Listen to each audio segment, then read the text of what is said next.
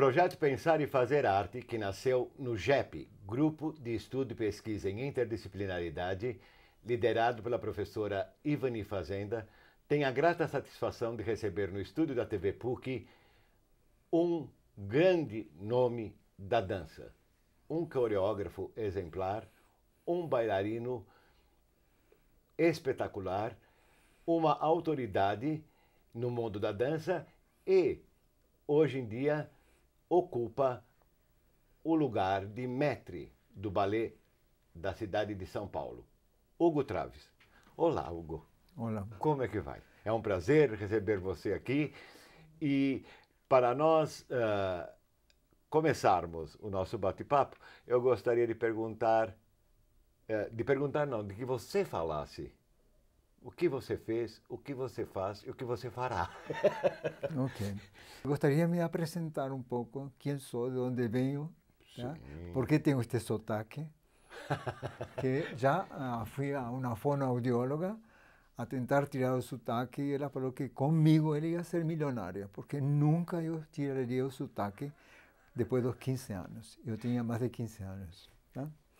Então, assim, eu sou uh, nascido em Buenos Aires, estudei e fiz a faculdade, né? fiz a faculdade de Direito por vários anos e abandonei por causa da dança. Comecei meus estudos de dança em Buenos Aires também, com grandes professores do Teatro Colón. E em, em, certa época, quando o Ballet de Cuba chegou a Buenos Aires, eu saí da Argentina né, para o uh, ballet clássico. Antigamente, eu tinha sido uh, bailarino folclórico a causa de ser filho de um militar rígido, com a conduta de um, uh, de um filho. Querendo ser bailarino? Querendo ser bailarino, era uma coisa. Estou falando nos anos 50 e pouco. Então, para meu pai, eu ser bailarino era um descrédito perante uh, a sociedade. A sociedade, perante a que era tenente da fragata da Armada Nacional da Argentina. Sim. Então, assim, como falei antes, eu uh, ocultei digamos, em certa forma, um tempo que eu estudava ballet clássico, mas ao mesmo tempo eu fazia folclore. Ah, então eu entrei na companhia que na atualidade se chama Ballet Folclórico Nacional Argentino. Ainda existe, Hugo? Existe, existe com outro nome e agora com um apoio do apoio do governo. governo. Na época era o diretor chamava Santiago Ayala, chamado Chúcaro, Chúcaro, não, não sei se em português é a mesma coisa. Chúcaro é um cavalo, por exemplo, que não está domado. Selvagem. Ah, sim, cavalo, cavalo selvagem. Selvagem. E sua parceira, que se chamava Dolores. Então era Chúcaro e Dolores. Era uma companhia privada. Eu trabalhei muitos anos sem ganhar um tostão, coisa que agora não existe. E aí, com o folclore, eu fui eh, indo na dança aos poucos. Por baixo, eu fazia balé clássico, dança moderna. Na época era dança moderna, não? Sim, dança moderna. Não era contemporânea. Então, nem... assim, é. aí, é aí que começou minha carreira. Durante alguns anos como bailarino folclórico, simulando ser um gaúcho pesado. e por baixo também fazendo coisas para o futuro, que é meu futuro que foi por, durante 50 anos. Isso sou eu por um momento. Que maravilha, que maravilha. Na, Hugo, dentro do nosso projeto Pensar e Fazer Arte, nós tivemos uma apresentação que versou sobre uh, biodança, a dança na arquitetura, uh, a dança circular, o significado que isso tem para a educação. O que é a dança para você? Bom, uma palavra, a dança para mim é tudo. Eu vivo da dança há mais de 55 anos. Não, fiz somente há pouco tempo atrás um curso como guia turístico. E dado o fato de eu falar seis ou sete línguas, ou oito, falava oito, perdi, estou perdendo duas, né? Então, assim, com a dança, eu fui a digamos, como eu falei, a dança é tudo para mim, por quê? porque fui desarrollándome não só como artista, sino como uh, ser humano, ser humano também. Sim. Dado assim de que eu trabalhei com gente que não só faz coreografia, mas que tem um intelecto que ajuda a gente a crescer. Tá? Por isso que, por exemplo, para fazer um trabalho coreográfico, eu me, não me baseio só nos passos da dança, tanto seja moderna ou clássica. Ou clássica. Entendeu? É um trabalho todo específico que a dança nos dá, é? porque para mim a dança, sim, eu, graças a Deus, como falei, na época saí da dança por um tempinho. Foram dois anos que eu fiz um curso de guia turístico internacional. O resto sempre vivi da dança, porque para mim, mim a dança é tudo. Seja a dança moderna, contemporânea, que também tem moderno um pouco, né? Sim, folclórica. Folclórica, dança, por exemplo, eu vou muito a, num parque que é pertinho daqui, o Parque Água Branca, onde o Toninho Macedo tem um grupo folclórico aqui. Então, assim, de vez em quando eu vejo manifestações. Não, não digo assim. Na época, quando eu fiz uma coisa brasileira, me pediram para sambar. Se me hubieran pedido para dançar um tango, até que eu ia sair melhor. Mas imagina, eu não tenho a, o que o brasileiro tem. Que o brasileiro tem uma riqueza corporal. Né? Eu falo isso assim porque eu vejo assim a criação, a, a, o criativo que é um brasileiro, né? Então para mim a dança é tudo. Então é uma parte intelectual, uma parte sentimental, né? E sempre que, que, eu posso, como falei, quatro anos atrás eu dancei novamente, eu me amarro a ela. Conta um pouquinho desses quatro anos atrás que você dançou uh, um solo feito por você, não é? Eu fiz um solo junto com a colaboração de um bailarino do Ballet da Cidade de São Paulo chamado Raimundo Costa, com o qual eu tinha trabalhado em Belo Horizonte. Então, assim, aí ele falou assim, conversando assim, falou, você está corporalmente preparado, por que não faz alguma coisa? Eu falei, olha, eu estava pensando assim, fazer um Don Quixote. Falei, mas é um pouco difícil o que estou querendo fazer. Então, assim, vamos começar. Falei, então vamos fazer um flashback de minha carreira, que é muito extensa, né? Então, assim, aí eu comecei, ele, ele trouxe para mim um disco, né? um CD, aliás, de Astor Piazzolla, uhum. muito estranho, que nunca não conhecia, não? Conheço muitas coisas de Astor Piazzolla menos esse, que é de um grupo de jazz super interessante. Ah, por trás você vê que está Piazzolla. Sim. Mas o resto não é Piazzolla, são os outros integrantes. Né? E aí comecei a elaborar, sempre cambiando. Eh, ele mais ou menos me vigiava. Falei, por favor, me vigia, porque eu não quero cair no ridículo. Falei, eu sou um cara que estou com 70 e poucos anos. Eu estou com 78 anos. Quanto? 78. 7, 8. Não acredito. Acredita se quiser. Mas eu estou com 78 anos. Cumpri agora o 26 de janeiro. Que maravilha, parabéns. Obrigado. Mas também. Pela forma física. E mental também. E né? mental, graças a Deus, sim, claro. Eu te falei, por isso que estou estudando outra vez aquela língua que só se fala num país. Bom, e aí fomos elaborando assim. Então, falei, você me corrige, tem autoridade sendo eu seu professor, de me corrigir. Falei, porque eu não me enxergo. Então ele foi assim, olha, Hugo, exagere, ou exagera, ou não é, mostra assim. Ele me foi encaminhando um pouquinho. Agradeço muito a ele, né? Aí eu falei assim, bom, vamos fazer uma homenagem à minha carreira, mas minha carreira é muito extensa, então não posso fazer uma, um solo que dura 50 minutos porque caiu morto.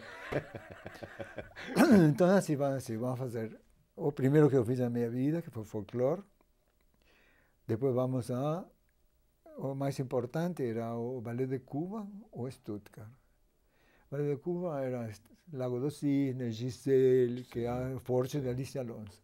Falei, não, é para Stuttgart, eu vou fazer Romeo e Julieta para fazer a dança dos, uh, os, uh, chama dos, uh, como chama? não é almofadas. Hum. É uma dança típica daquela época. E eu era o Romeo, eu era o pai, eu era a mãe, eu era a Julieta, eu era não tinha um personagem definido, com uma máscara. Então eu tentei assim, que a gente nessa dança usava a máscara, que é quando Romeu encontra sim, sim, a Julieta. Julieta. É um baile de máscaras que eles se encontram, né? É um baile fantástico. Por isso, que essa é a dança dos Knights, que se Isso. chama. Knights são uh, Cavalheiros. cavalheiros. A dança dos cavalheiros. Então eu fazia assim, uma coisa assim, que me encontrava com todo mundo, assim, uma representação de Romeo e Julieta. Todo isso tinha no meio Astor Piazzolla, para eu ter um fôlego muito curto. Assim. De aí passei a, a outro tipo de dança, que seria eh, uma homenagem à minha vinda aqui no Brasil. Porque eu vim aqui ao Brasil convidado, primeiro vim com um grupo argentino, a dar aulas em Ouro Preto, onde morei por dois anos, dois, dois meses, desculpa, e conheci o, o gente de, de Belo Horizonte que formou o Grupo Corpo depois junto comigo. Isso bem mais para frente, tá? E aí eu comecei a, a, a dançar Maria Maria, um espetáculo famosíssimo que levou o Grupo Corpo aonde que está na atualidade. Sim. E a segunda Você trabalho, o, o corpo, né? hein? Você foi um dos fundadores do corpo. Eu fui um dos fundadores junto com Rodrigo, Paulo e Isabel Costa. Sou fundador, era maestro, bailarino, assistente, iluminador, blá, blá, blá, blá, blá, blá, tudo. E aí, o segundo trabalho do Grupo Corpo se chama Último Trem, que também tinha a mesma fórmula. Milton Nascimento, Fernando Branch e Oscar Arraes como coreógrafos. Maravilha. E aí a gente dançava, eu dancei um trecho que eu não dançava no, no, no balé. Eu fazia Joaquim, um maquinista, que a história do, do último trem é a retirada da famosa estrada de ferro de Bahia, Minas. Então eu fazia um dos tantos eh, eh, que comandavam a estação naquele trajeto. E fiz a Lua Giro, de Milton Nascimento, com, inclusive com o boné original que eu gostava, que era meu, eh, como chefe maquinista. Sim. E eh, aí elaborado com ele. Falei, olha, eu quero fazer uma coisa muito simples, porque primeiro era um duo que eu não dançava, dançava outra gente, mas eu adoro a música, não?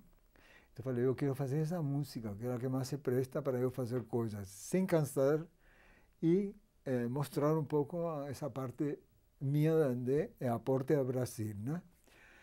E aí, outra vez, sempre, como te falo assim, com eh, Astor Piazzolla no meio.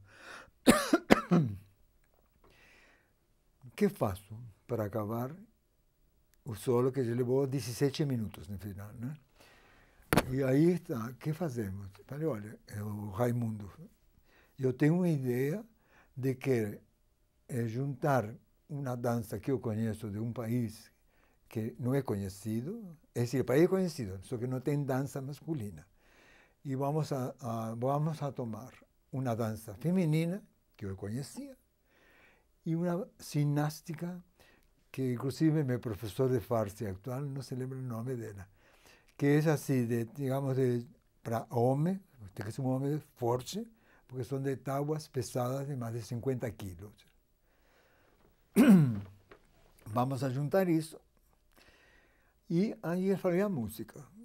Falei, olha, a música eu assisti no Teatro de la Ville, em Paris, a um concerto de um famoso músico iraniano chamado Saharian, com el, del qual eu tenho dois discos. Daí escolhemos uma música e eu fiz uma dança, para completar esta uma dança iraniana, inventada por mim, porque não existe. Porque não existe. Esse é um trabalho de coreografia que eu fazia para usar a dança feminina e a dança masculina sem cair em uma na outra. Depois não pode ser uma coisa feminina, porque já primeiro eu tinha uma saia, eu me coloquei uma saia. Por quê? Porque eu acabei a dança como um derviche. Ah, sim. A dança derviche famosa Sim. que eu tinha feito em- uma- na época um trabalho de que o, um, um padre da religião eh, muçulmana chamado Mola, eh, na língua, Sim. dança, dança até morrer. E assim foi, essa foi a criação minha de um solo chamado O Homem del Sur. Isso há quatro anos atrás. Isso, quatro ou cinco anos atrás, mais ou menos assim. Veja, Hugo, a gênese de uma ideia é imaterial. Como você concebe, por exemplo, um solo desse? Como é que você põe essas partes juntas, um todo harmônico, num todo compreensível ao público? Como é que isso acontece na sua cabeça? Bom, como te falei antes, foi só um estudo assim, primeiro assim, que eu represento na atualidade. Depois assim, que música usar para eu não fazer uma coisa meio estrondosa, né? Sim. Você Dado... se baseia na música. É? Você se baseia na música. Você pensa Bom, primeiro a, na música. A primeira parte, por exemplo, assim, eu faço uma espécie de eh, eh, como que introduzo o senhor Hugo dentro da dança com a idade que ele tem. Então era uma coisa muito suave, assim, de gestos muito suaves, de virar assim. Coisa que eu me mostrasse, de que eu ainda consigo virar a cabeça, porque tem, com a idade que tenho, tem gente que faz assim. Sim. Entendeu? Sempre assim. Então, está essa parte também muito importante para mim. Sim. Também eu não posso levantar as pernas aqui, eu levanto as pernas aqui ainda, mas seria uma ostentação ridícula de minha figura. Entendeu? Entendi. Então, o bom senso deve prevalecer. O bom senso, o bom senso prevalece sempre. Então, assim, aí foi a primeira parte. A segunda, falei, bueno, vou me matar fazendo folclore. Porque o folclore argentino é como um folclore gaúcho. Pesado. Pesado. É uma coisa assim de, de terra. Sim. Entendeu? Tem, uh, tem coisas da dança argentina que não sei se tem. Conheço um pouco a dança gaúcha, mas não tanto. Mas a gente torce as pés. Sim. Eu, Isso eu vi muito eu, no balé folclórico russo. Tá, o russo dança umas pontas dos pés aqui. Isso, eu acho quase que inconcebível. Então eu tive que fazer um trabalho, uh, Cláudio, de cuidar-me dos tendões. Sim.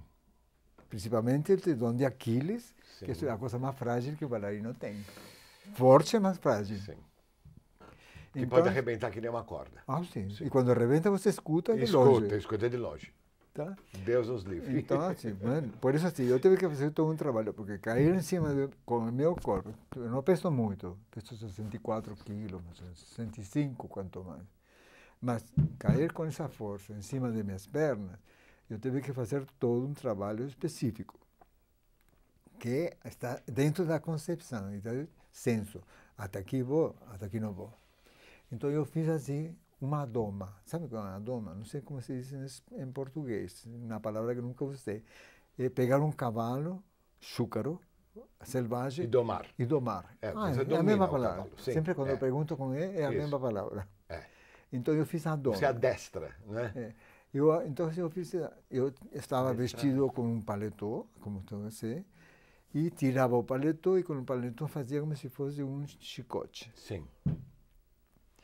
E isso assim era eh, com um ritmo dentro da minha cabeça. Não tinha música nenhuma.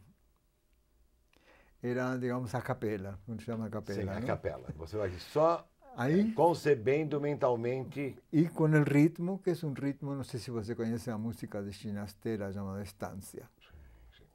Final de Estância é um malambo. Sim. Um malambo, eu fazia malambo. Que malambo é essa dança assim, tipo es, casi siempre es una danza de quién es mejor que otro. Uma, uma, uma, uma espécie de competição. Uma competição. Então, assim, aí eu fui aos poucos, eh, digamos, educando minhas pernas novamente. Imagina, eu dancei isso nos anos 55 e agora dancei há cinco anos atrás ou quatro anos e meio atrás. Então eu tinha que educar minhas pernas para não quebrar-me em dois. Isso foi a primeira parte. Aí daí, para poder, que ficava se suando e tudo, porque era muito, era curtinho, era dois minutos. Mas dois minutos... Sim, dois minutos que valem por 20. Mais ou menos, ou mais. E aí eu fazia uma dança que se chama samba, que não é samba brasileiro, é outra coisa, que é uma música, por exemplo, você, você deve conhecer uh, Alfonsina e el Mar, sí, Alfonsina y Omar, sí. cantado por la Mercedes Sosa. Mercedes Sosa. Ay, Eso se llama, es una samba. é uma, uma, um, um, ritmo lento. Então, Dengoso, assim, não é? É meio lânguido. Melancólico. Melancólico. Sim. Então eu tinha, descendo do teto, um, um lenço, e isso é um, é tipo um duo entre homem e mulher. Eu não tinha mulher. Então eu pegava o lenço, que eu sei é, trabalhar com o lenço, o lenço abre assim, tipo um, né, no ar, com um gesto da mão. Não?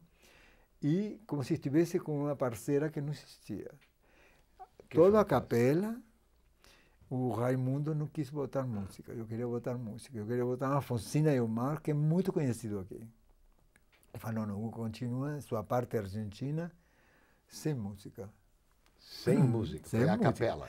Tanto malambo, a dança primeira, como a segunda, que se chama samba. Então eu fazia assim, a dança tem uma, uma, como se chama? Uma coreografia, um desenho coreográfico. Eu conheço esse desenho, de tanto que dancei. Então eu fazia a primeira parte, que o homem começa aqui, mas acaba desse lado. E al final acaba do lado original. Entendeu?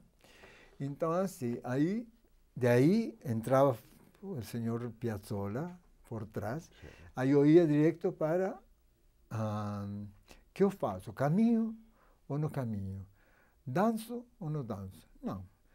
Para eu também sentir que o fôlego vinha devagarinho em mim, fui caminhando lentamente e colocando, recolocando minha roupa e cerrando, fechando a roupa de um jeito que ficasse como uma jaqueta de balé clássico. Sim. É? Que estava estava tudo preparado isso, né? O figurino estava preparado também, né? Não sou eu, também o figurino.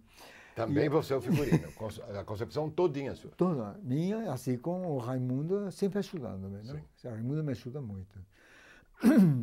E aí eu achava uma, falei, que eu faço de Romeo e Julieta? Falei, não vou fazer o duo de amor, falei, porque é ridículo, sozinho. Claro, sozinho fazer um dueto. Então falei, vamos fazer uma dança também um pouquinho mais enérgica, e que é a dança dos Kenai, dos cavaleiros, Sim. com a música de Prokofiev. Hum, que maravilha. É? Então, assim, falei, vou usar um motivo que vou fazer uma máscara, porque a gente entrava no, no, no bailado, em Stuttgart, com, com a máscara. máscara. Sim. Então, ponto. Aí eu achava uma máscara no chão, eu fazia uma introdução e aí começava a Prokofiev. Fazia uma dança simples, apresentando Julieta, Maia, o pai, o tio, uma espécie de eh, parte cênica dentro da música e acabava com uma coreografia muito simples, eu deixando, tirando a máscara, ir descobrindo outra vez eu, Hugo. Aí deixava a máscara no chão e partia para outra. Aí tinha a Piazzolla, então eu fazia alguns eh, gestos de tango, como dizendo, olha, também sei fazer tango, tá? que todo argentino Aliás, o que você não sabe fazer na dança? e aí ia direto e achava um boné que é o boné que eu usava no último trem original, que era meu, não, como falei, e deixava o casaco no chão, eu tirava o casaco porque para poder respirar, vestido de casaco em cima, e fazia a Lua Girou de Milton Nascimento em uma coreografia que foi concebida por mim e corrigida e uh, por Raimundo também, o rapaz que me ajudou. Mas assim, a cabeça era minha, mas eu falei, olha, não me enxergo que, que estou fazendo? Ele falou, ah, não, vai assim, que é melhor, vai assim. Sabe, ele mais ou menos, Sim. Me, como eu não tinha espelho, porque não quis, não quis trabalhar com espelho, porque senão você fica olhando no espelho e não... Sim, claro, claro. Falei, não, eu tenho que dar uma coisa muito mais forte. Então, não posso olhar. E aí foi que concebido assim. E de aí, outra vez, a senhora Piazzolla no meio, porque eu despedia um trem que não, por um apito. Então eu deixava o boné no chão e partia para outro, tirando-me o mais possível de roupa, eh? as botas, eu dançava todo com botas, até aqui, né? E descalço, colocava uma saia, virava de costas e começava a música iraniana. Eu falava Farsi, que é a língua persa, duas ou três uh, frases pedindo ajuda a Deus em farsi. em farsi. Em farsi. E, e acabava a dança, e, já que tinha essa saia tão enorme, como tem os derviches, né? e acabava com a dança, assim, digamos, uma espécie de loucura final. E o resultado? Bom, o público tem que perguntar ao público. não, não mas... Eh, eu dancei não muitas vezes, porque ninguém gosta de ver um velho dançando. Não velho, mas, mas... terceira idade. Terceira idade mas... ainda as pessoas dançam tanguinho, dançam chachado, assim, para um espetáculo como eu fiz. Então, assim, eu fui convidado a dançar. Foi Bonice Sachi que me convidou a dançar no SESI da Paulista em um espetáculo com outros, mais ou menos, jovens como eu. Sim. Ai, que beleza. É, foi um espetáculo onde eu me apresentei por primeira vez, morto de medo, porque fazia muitos anos que eu não dava a cara ao público. Né? Sim. E uma coisa é dar ao público quando você cumprimenta, porque o mestre é balé, outra quando você dança. E aí, depois, houve um espetáculo no Teatro Municipal, é, patrocinado por um, um, grupo de pessoas, de uma senhora que faz muito pela dança, chamada Bia Laffer. Ah, sim, Bia Laffer. Vamos contar da Bia Laffer no segundo programa? Ah, porque o nosso não. tempo esgotou e eu gostaria de agradecer a primeira parte a você pela essa Lamento, maravilhosa, muito. maravilhosa uh, uh, entrevista e gostaria de avisar ao telespectador que vocês podem opinar, pedir, dar sugestões pelo e-mail pensar e fazer arte arroba SPBR. Muito obrigado.